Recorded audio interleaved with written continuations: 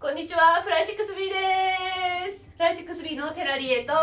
たもとまいこです。よろしくお願いします。よろしくお願いします。今回のオマージュ作品は、あの少年ジャンプで大人気なルローニケンシン !10 月に新しくアニメもスタートします1868年、幕末動乱期、鳥羽伏見の戦い。人斬り抜刀斎と恐れられた獅子がいた。その男は新しい時代の到来とともに人々の前から姿を消し去り最強という名の伝説と化してい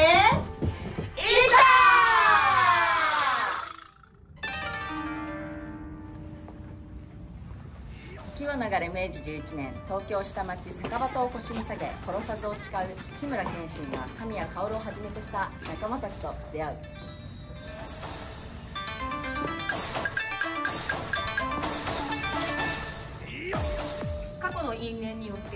うこととなる最強の出世したちと対峙する運命をたどる。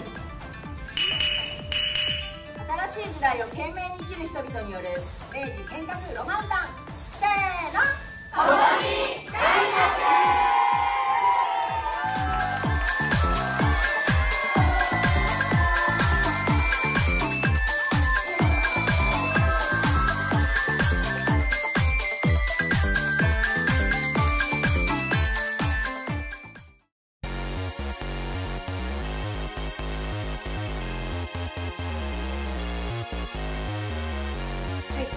ライシックス B みんな漫画もアニメもすごく大好きなんですけどあのその中でいろんなあのやっぱアニメ作品が話題に上がっていく中でじゃあ今日本人として世界にどういうことを発信したいかと思った時に日本がテーマの作品にしたいっていう中でやっぱりこうその中でもいろいろあるんですけどこの「ルローニケンシン」っていうのが世代なのもあるしすごく自分たちの中にビビビとなんか来るものがあったんだよね。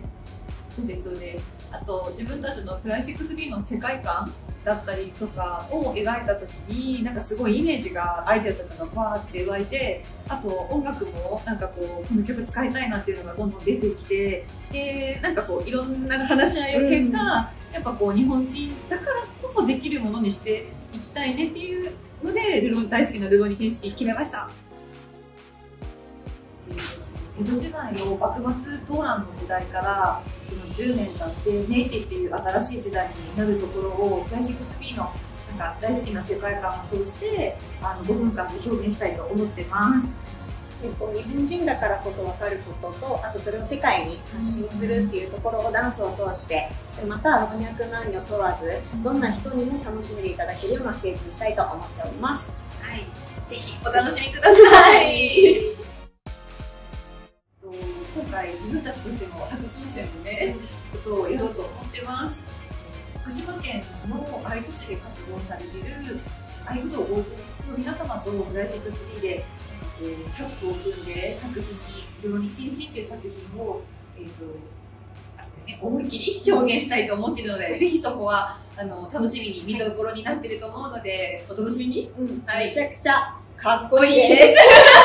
本当ザ日本人って感じの。だし、なんかこう胸を打つものに作っていきたいなと思うので、ぜひそれを心で感じていただけたらと思います。はい。お楽しみに。今年の秋日本のアニメゲームをオマージュしたダンス作品その世界頂点を決める新世紀のダンスエンタメ大会開催いたします。アリコレレジェンド